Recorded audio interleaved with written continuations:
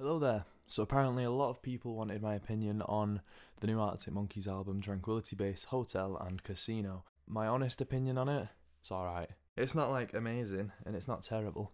It's just alright. A lot of people are complaining that it's too far a departure from whichever album they prefer. And I can kind of understand it because here's the thing. Alex Turner, after his first album, he's 19 years old, he's released this uh, album about life in Sheffield and going on nights out and taxi ranks and uh, prostitutes on the street and stuff like that. You know what I mean? After that, after a few albums, I think it was, he moves to America. He moves to LA. He starts releasing, you know, AM a while after. So obviously, you see a massive change.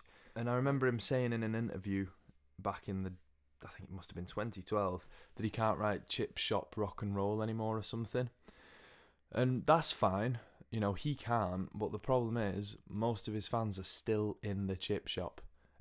if you're a, a young person living in England, especially, you understand exactly what Alex Turner was on about with that album in a weird way. It, it's really reflective of life here. That's why it's called a concept album on, you know, young life and stuff. And because it does completely make sense things like when the sun goes down and all that give him half a chance I bet Robbie if you can. There's a lot of kind of rough I'm from England, here's what the streets are like kind of shit going on in that album. This, however, Tranquility Base is the furthest departure from that imaginable and simultaneously is the furthest departure from AM imaginable, which was a bit more like I'm sexy, I've got leather jackets and motorbikes. You know what I mean? Like it's a bit more it's definitely a bit more focused on Alex Turner's aesthetics a bit that album. There is kind of nods to I think lyricism more in the early albums. Like he says something like hokey cokey with the opposite sex or something. That's a lot more kind of subtle. Like the innuendos of whatever people say I'm that's what I'm not and stuff, they used to be a bit more subtle than in later years where he would have songs where he was like, I want you down on all fours. You're so dark, I want you hard.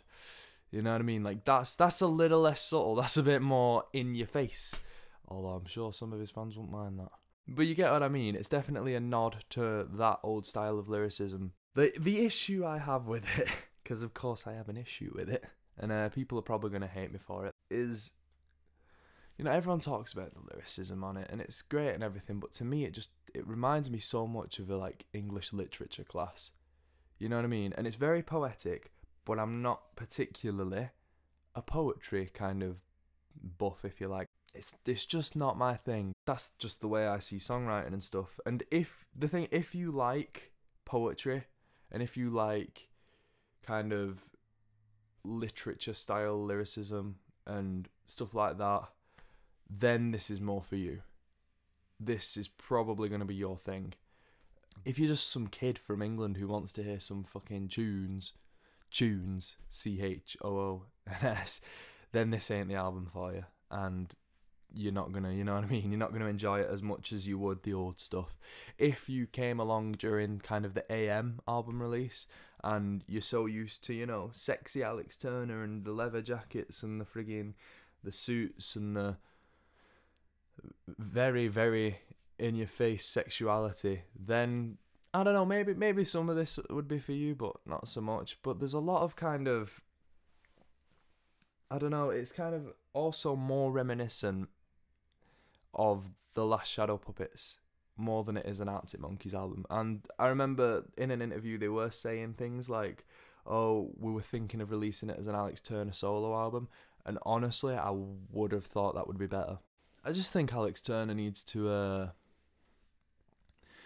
I think at this point he's just going to do whatever he wants and do what he loves doing, and that's fair play to him. There's obviously going to be a loyal core fan base that will follow all his works and will enjoy it, and that's fine. And I'm definitely not shitting on those people.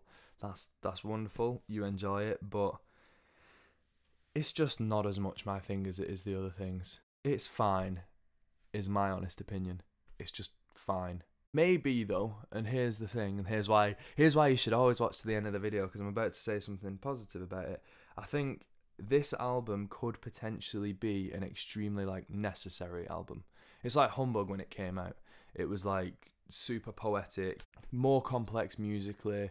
His voice was a lot lower. He went from like, "He said it changes when the sun goes down around here" to uh, "Fools on parade go." You know what I mean? Complete, complete shift in in what he was doing. Um, and maybe this is what we're seeing here is just a transition where he's gonna he's found this new sound, a new way of doing things. Those are just my thoughts on it, and obviously it is my opinion. You're entitled to your own, and feel free to leave your opinion in the comments. Um, maybe you'll make me see this album in a light that I hadn't seen it in before.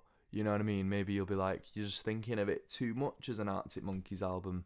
You're comparing it too much to the old stuff. And have a chat with me about it because it's just interesting. The response to this album for Arctic Monkeys has been really interesting. It seems to be a bit divided. Some people saying it's the worst shit in the world, all filler, no killer. Other people saying it's the most genius thing he's ever done. And a lot of people like me who seem to just be like, eh. it's just everything you've come to expect part two. But with Arctic Monkeys instead. So yeah, let me know what you think. Au revoir.